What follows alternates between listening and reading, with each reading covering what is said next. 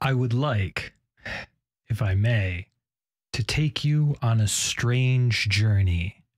Greetings, one and all. My name's Rew Mate. I've encountered many people that say, I don't like scary movies. And I think that mentality makes people miss out. So I'm starting this challenge called 50 Shades of Horror. I'm going to recommend 50 different scary movies. I'll start with the least scary movie that still qualifies as a horror movie and work my way to the scariest movies I can find. The point of this challenge is to allow those of you who are apprehensive about watching scary movies or know someone you want to watch scary movies with to give them a try. If this sounds appealing to you, please give this video a like and subscribe to my channel. Click the bell to be notified when the next shade is released. And share this video with anyone you'd like to challenge to watch all 50 Shades of Horror. This list has been created to serve as an excellent starting point for someone who has never seen a scary movie before. I believe that breaking anything down into absolutes, polar opposites, as in, I don't like scary movies or I do like scary movies, only tricks us into thinking that reality is much simpler than it is. There are many shades between the extremes, and recognizing that nuance can help everyone see the real world more clearly. And I'm certain no one will dislike the first movie for being too scary. So everyone can start, but will you be able to finish?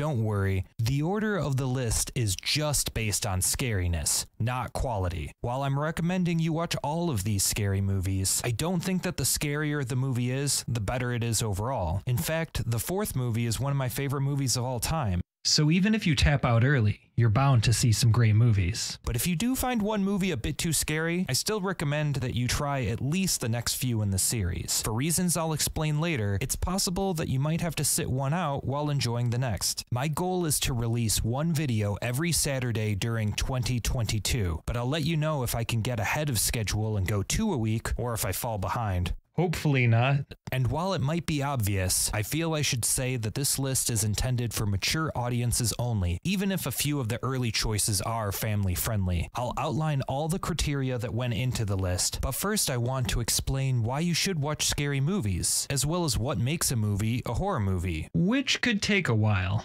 I'll put the chapters in the description so you can jump right to the criteria if you so choose. Also, before we get any further, I'd like to say that these background visuals are from the 1922 film Nosferatu. I knew that this video was going to be rather long and that I didn't want to delay my releases by making a well edited underscoring of my points for this one. I'd also run into the issue of potentially spoiling what is or is not on the list by using other examples. So I chose a horror film that is not eligible for the 50 Shades for reasons I'll get into in the criteria section to give some underlying visual intrigue. But of the videos in this series, this one will work the best in an audio only format. It's here for a backdrop, so any correlations between what I'm saying and what you're seeing is a happy coincidence. I'll still pop up here and there for emphasis though. There will be a couple of title cards to highlight points. So let's start off with why you should watch scary movies. Well, before we can answer that, let's take a step back. Why would people watch movies? Or let's go back even further. Why would people enjoy any form of art? Well, like any huge question, the answer is huge. There are countless reasons that people enjoy art, with different people gravitating towards different aspects. Hell, even the same person might be compelled by radically different qualities from one artistic work to another. Even a single work of art may appeal for various reasons that may or may not be linked to one another. It's a huge amorphous mess. So I'll try to make some sense of it, since I like coming up with categories to help break down these complexities. So far as I see it, there are three main categories that make art appealing to people. Emotional, intellectual, and social.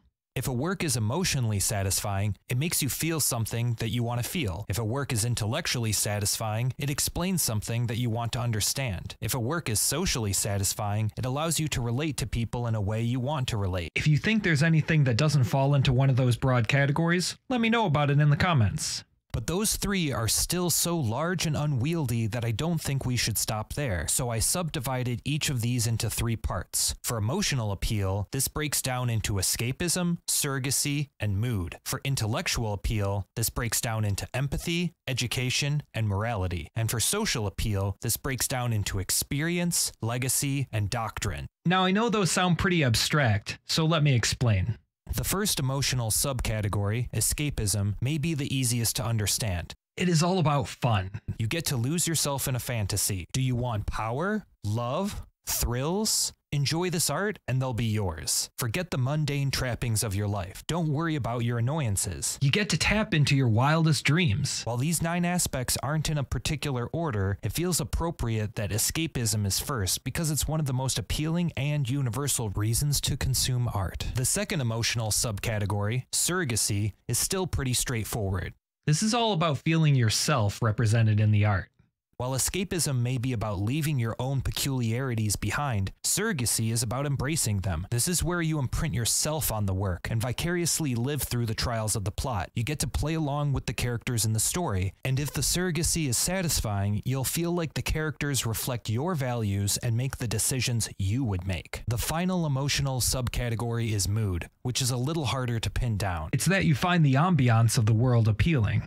It's not about appealing to a fantasy or reflecting you personally, it's that the atmosphere and tone are enthralling. You seek out the right mood because the general vibe of the work feels right to you. If you're cheerful, you'd seek out a pleasant atmosphere. If you're feeling more pessimistic, you'd seek out a dismal ambiance. So mood is about finding the external reality that reflects your internal reality. The first intellectual subcategory is empathy, which might sound like it's another emotionally fulfilling aspect, but this isn't sympathy which would probably fall under the surrogacy umbrella. No, this is about understanding someone else's perspective, but not really feeling the same way about it yourself. This is about using a work of fiction to make it easier to comprehend why someone who could be very different from you is the way that they are. The world today is filled with so many different people, and they are even more different if we look to the distant past or future. So a work of fiction could appeal to you because it allows you to see the world through someone else's eyes, making the opaqueness of the other melt away even though you do not seek to emulate them. And if you seldom experience this, let me tell you, it's very rewarding. Empathy is not endorsement. Empathy is not acceptance. Empathy is merely embracing the fact that humans, no matter how glorious or repugnant you find them, have reasons for being the way that they are. Empathy is about understanding as much as you can about the entire human experience. The second intellectual subcategory is education, and thankfully we're back to being a bit more straightforward again. This is just about how a work of fiction can teach you facts. Maybe a historical piece summarizes an event in a way that makes it easy to remember. It could be a story in a foreign land that lets you see what that place and culture are really like. Perhaps there is a plot concerning a certain skill or profession that you find fascinating, and the journey allows you to grasp their process. Whatever the avenue, the education subcategory allows you to learn in the most concrete and objective sense of the word when it's done well. The final intellectual subcategory is morality, and this one may or may not be simple simple, it really depends on the presentation. Essentially, this is about answering the question of how should we live? Now, one work of art might be blunt and prescriptive do this, don't do that, then you'll be a good person. Or it could be more complicated, showing characters making tough decisions with ambiguous moral consequences, and allow the audience to figure out which actions were praiseworthy and which were reprehensible, and to what degree. But regardless of any particular work's simplicity or complexity, the morality subcategory is intriguing. It lets us explore and learn about how the values and actions of one person affect those around them. It allows us to understand and therefore refine our own impact by illustrating extreme scenarios that we may never have to face in our own lives. The first social subcategory is experience, and again, this one is relatively simple. This might be right up there with escapism as being one of the most universal reasons that art appeals to us. It is just about being in the moment with the audience that you are with. Whether you're watching a movie with one other person or you're in a sold out midnight screening of a new release with the most zealous fans, if you're enjoying being in that space with those people, then the art is fulfilling you with experience. And maybe this seems out of the hands of the creators, though skilled artists will probably think about how their work lets its audience come together positively, but the joy that we experience need not be intended. What matters is the way that any particular showing goes. If it serves as a way to connect you to someone else, then it was a satisfying experience. The second social subcategory is legacy, which is a tad more complicated. If the experience is about the present, the legacy is about the past. This aspect is about how one work of art feels like it is part of a greater lineage of works of art. This could be through subtle homages or references. It could come from different works having the same creative forces behind them, or it could be through overt remakes or sequels. The previous subcategory's example about zealous fans would be unlikely if it were not for legacy. By creating work after work that builds upon an ongoing understanding, you allow people to connect to the art on a more personal level. Having one experience does not define you, but reinforcing that choice time and time again does become part of your identity and that personal identity, when shared with others, becomes even more powerful. As your friends and family join you on these repeated artistic excursions, you develop a community around these works. In fact, due to the rewatchability of movies, even a standalone film could allow you to form a community with those close to you. It's possible that Legacy could be divided into two parts, one for the relationships between the works and one for the interpersonal history that these works provide, but I think these two are so closely linked that it's useful to see them them as one idea. And through legacy, art gives us fulfillment that lasts long after the show is over. The final social subcategory, doctrine, is thankfully simple. A work of art allows for a shared culture between strangers. It works as a cultural touchstone. While legacy is about how a movie makes you remember something personal, whether it is a date with your significant other or a reference to something you're nostalgic for, doctrine is about how remembering a line can help you connect with someone you've never met. If a work of art has memorable, standout elements that let you understand what someone else is thinking quickly by way of analogy, it's satisfying a social need for a shared frame of reference, the doctrine. Phew. All right, that was a lot.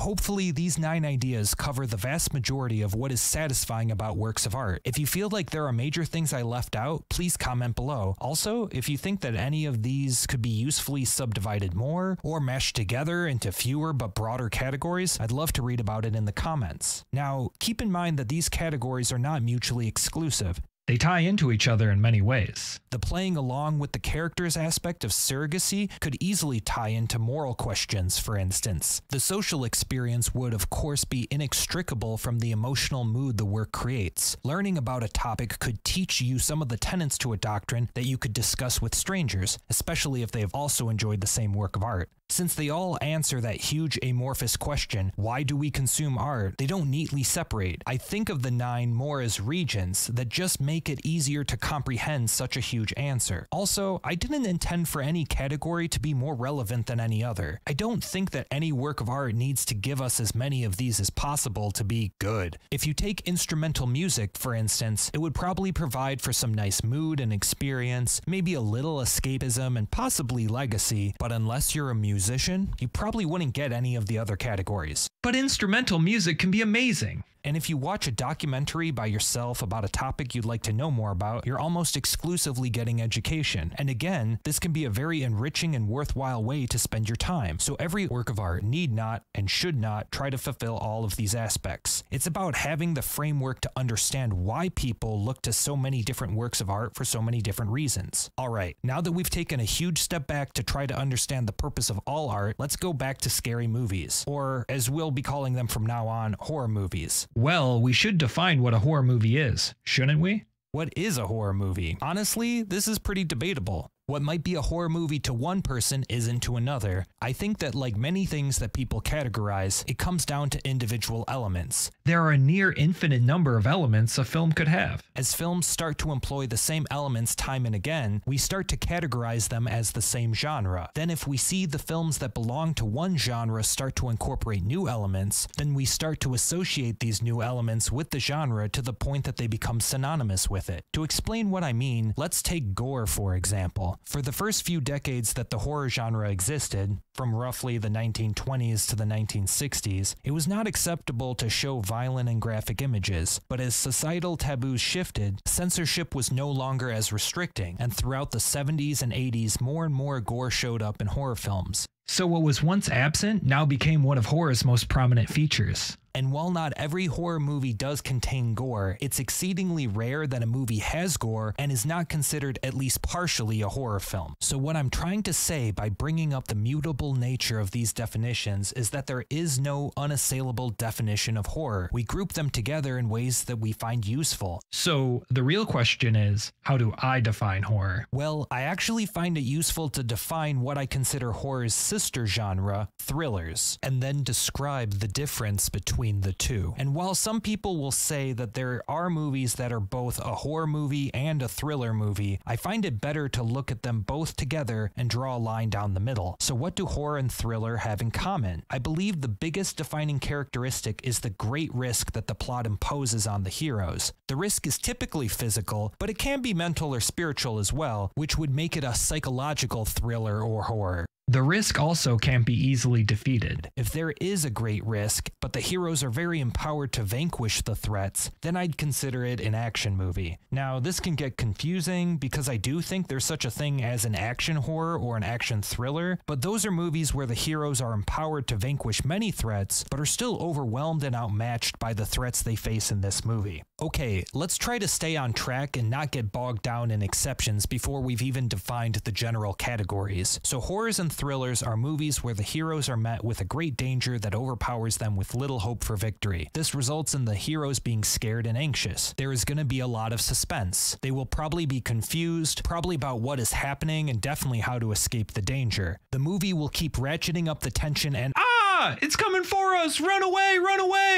So, if this is what makes horror and thrillers, what is the dividing line between them? The way I see it, the line is about the threat. Horror is about something so monstrous and creepy, you're still scared even after you're safe. A thriller is about something that, while potentially disturbing, is limited in its scope. In a horror, the evil is undying, lingering, persistent. You are forever changed, always looking over your shoulder. In a thriller, the evil can be behind you. It may have a lasting impact some may have been lost, but the hope that the hero's situation may get better is real, even if it is very bad at the story's end. Essentially, in a thriller, the evil is limited in its scope, and in a horror, it is limitless.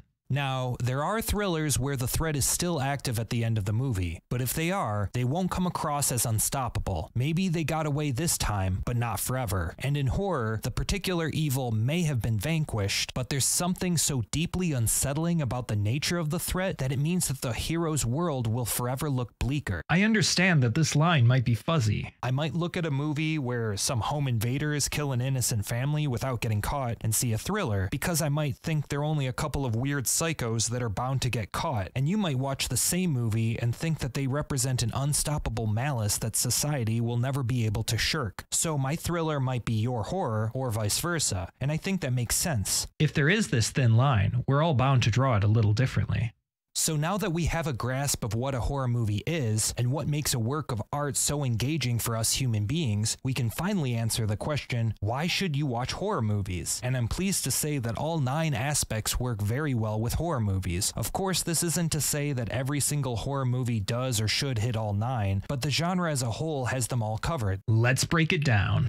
Escapism might look like a weird fit for horror. Didn't I say that escapism was all about leaving your problems behind and that horror is about feeling powerless? Well, yes, but watching a scary movie can put your mundane life behind. If you're watching a bunch of helpless people in over their heads trying to escape certain death, you're probably not thinking about your taxes. The immediacy and palpability of the danger is, when done well, so enthralling you won't be able to think about anything else. And even when the movie's over, maybe your own trials and tribulations won't seem so daunting in comparison. And there's always the possibility that you might want to be a little scared. You get to confront some of the most terrifying things imaginable, which can be quite exhilarating. If you like watching spies dodge bullets, you might like watching watching teenagers dodge axes. Well, they dodge the axes some of the time.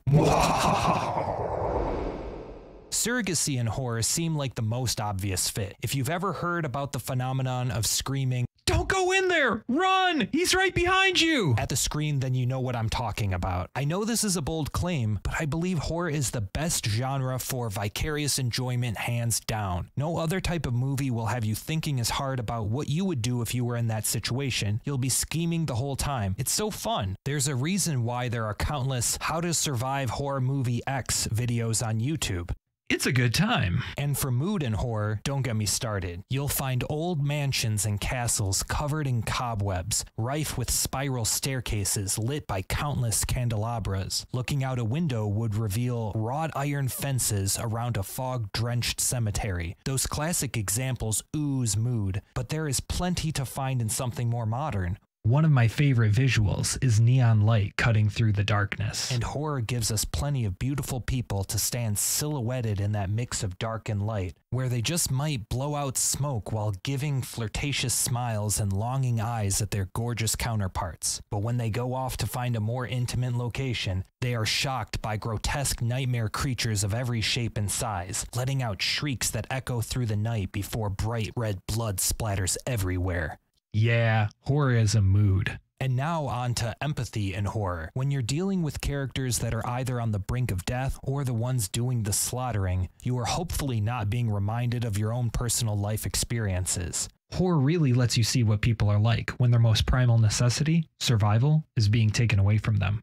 It can help you make sense of what it would be like in those extreme conditions and therefore reveal what it means to be human. And some horror movies let you inside the mind of the killer, letting you see what makes someone lose their humanity if they were even human in the first place. If the goal of empathy is to understand the emotional reality of those quite different from you, then the genre that is all about pushing far past the limits of everyday life is rife with those revelations. Education in horror is probably the weakest link, admittedly.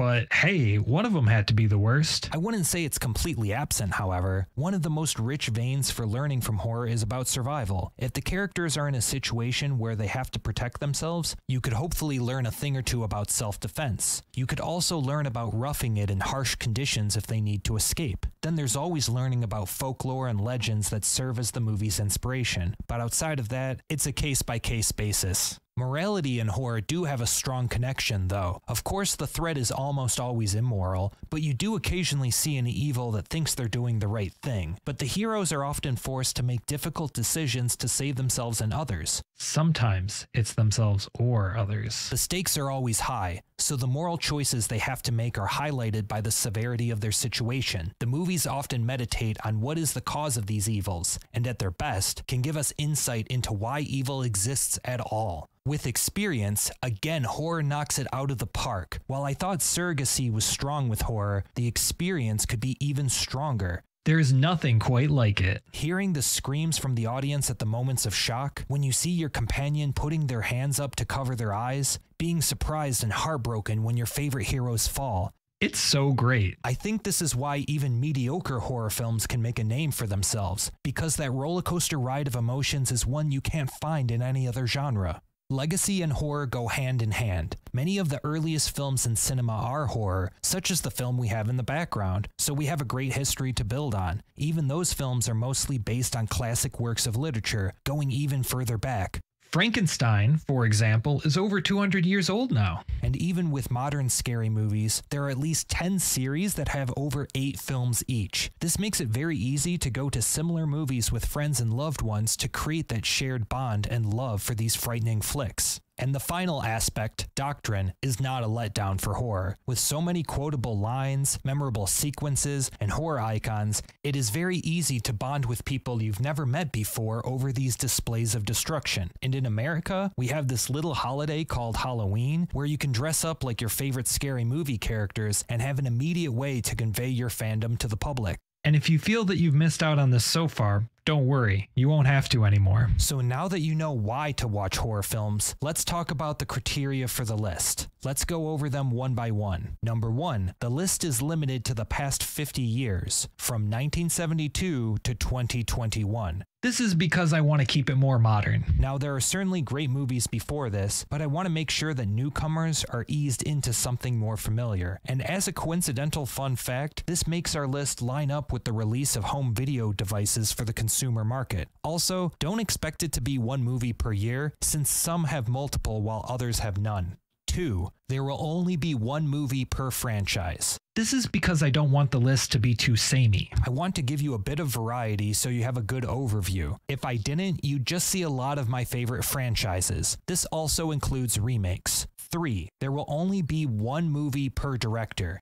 This is basically the same reasoning as number two. Though there are a great deal of other creative forces that may give movies similarity, like producers, writers, composers, cinematographers, actors, and so on, the director is typically thought of as the creative lead on a movie. I do not want to let the list become too repetitive by allowing one director to get multiple spots. Four, there will not be any anthology movies. While I think anthology movies can be pretty great, they kinda defy categorizing them from least scary to scariest, as each segment would rank differently. 5. There will not be any meta horror movies. I define a meta horror movie as any movie that subverts, satirizes, or in any other way requires prior knowledge of other horror movies. Honestly, this is a bummer for me because there are some amazing movies that fit this description, but I don't think they'd be great to newbies since they work better if you already have some familiarity with the movies they're transforming. If a film flips a genre on its head, but you aren't familiar with the genre, then the commentary that this film is giving could be lost on you, and it might give you the wrong idea about the genre as a whole. But don't think that leaving out satires means that comedies are excluded. In fact, most of the early ones on the list are comedies. It's just that the movie can't rely on you having seen others. So there can be references or homages to other horror films, but they have to work on their own even if you haven't seen what they're referring to.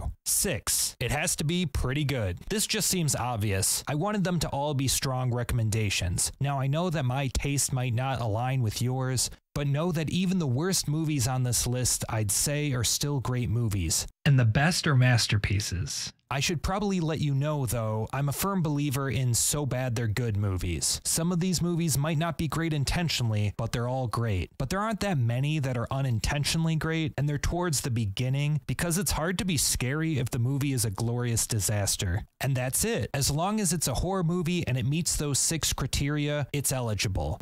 There are plenty of great movies that didn't make the list. Some of them are simple. I haven't seen them yet. Many of them can't make it because I had to honor rules 2 and 3. There are some that I couldn't figure out how to fit them in for one reason or another, so I skipped them. This list is not exhaustive. Even following these criteria, there are more than 50 I'd recommend. I just had to stop somewhere. For now. But hey, on this video and any other in the challenge, you can comment what movies you'd like to see covered. The list is already in place, but who knows, you might pick an upcoming one. And even if you don't see your favorites, I'd like to know what to cover after the series is done. So, with each movie being scarier than the last, how am I going to arrange this? Well, there's a lot of different factors that go into what scares people, so I'll try to name what I'm looking for. I came up with 10 major factors. These are in alphabetical order, not in order of importance. Creepy. Is there something eerie and unsettling? Does it make your skin crawl? Is there an unknown but sinister element at work? Then it's creepy. Danger. This one is nice and simple, but possibly the most important. Are the heroes being threatened with getting hurt or, let's be real, killed? Then it's dangerous. Gross. Is there something just plain repulsive? Are there unnatural creatures or gory killings? Does it make you want to look away? Then it's gross.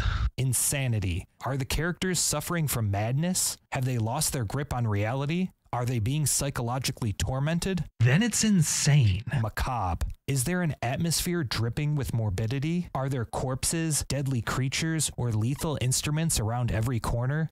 Then it's macabre. Nihilism. Do some of the characters just seem bleak, resigned, and joyless? Do they give off an air of hopelessness? Does it seem like society itself is evil? Then it's nihilistic. Paranoia. Are the characters distrusting and seeing enemies everywhere? Is there a feeling of unease when meeting anyone new, or a fear that previously good people have been corrupted? Then there's paranoia. Realism. The more believable the monsters, the scarier they are. That's not to say that supernatural threats are less scary. I'm saying any evil, whether fantastical or objectively real, becomes less scary if the artifice in the filmmaking is readily apparent. I'm saying I'll probably dock scary points the more phony the presentation comes across. Shock. Are there moments where the evil shows up suddenly and it alarms you? Does it leave you feeling unsafe because you don't know when it's going to happen again? Then it's shocking. Tension. Is there a lot of buildup? Do you get anxious about a lurking evil that's waiting? Then it's tense. With these 10 criteria, I'll organize what is most scary.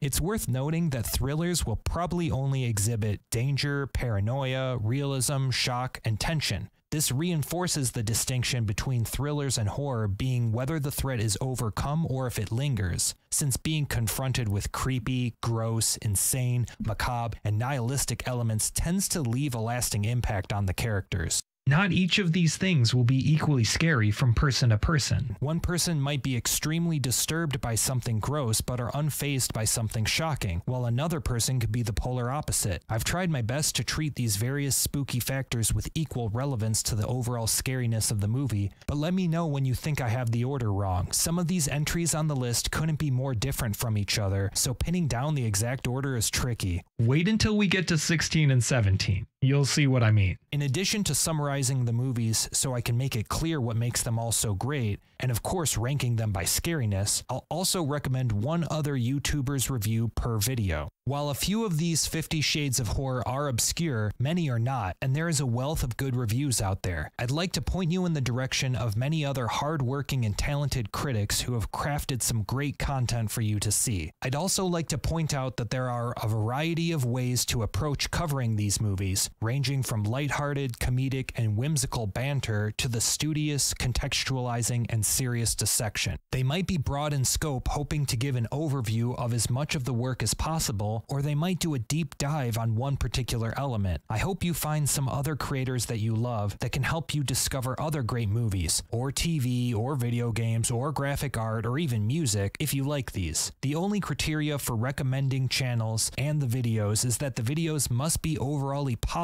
about the movie and that I don't recommend the same channel twice. This means that many of the creators will cover multiple movies on the list, and I'll point that out when they do.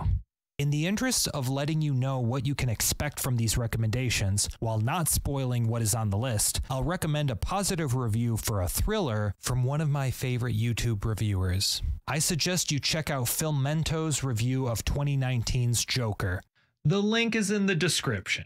Now, I'll usually use some clips from their review to make it clear what to expect, but I'll forgo that here because I think it would be weird as this video is going on without any other clips. But I'll just say that in this review, Filmento explains how Joker is able to portray an unambiguously evil character while keeping the audience from disengaging by being disgusted by Arthur Fleck's reprehensible acts. Filmento focuses on the framing and context of Arthur's violent outbursts, as well as the omission of certain relevant details that allow the audience to see Arthur as he sees himself, so that we empathize with his descent while not sympathizing with it. Filmento's channel focuses on these kinds of analysis, where he puts forth why he thinks something does or doesn't work in a movie by picking apart what the movie does, and he often suggests what could be done differently that could improve the movie if he thinks that things didn't work. I think he's a great example of constructive criticism, and his videos are well edited, snappy, and entertaining. As a quick aside, I feel like I should say why I think Joker is a thriller and not a horror movie, though it does come pretty close. It checks off around 8 or 9 of the scary criteria I put above. However, my take on the movie is actually optimistic. I think it's clear that Arthur wants a better life. He wants people to be compassionate to him. He wants to make people happy. Tragically, things don't go that way, but my take was that society does have a clear path for how to be more supportive to people like Arthur. If we were, then the pain he suffered could be healed instead of reciprocated, where he would know something better to do than pay his torment forward to corrupt the next innocent person.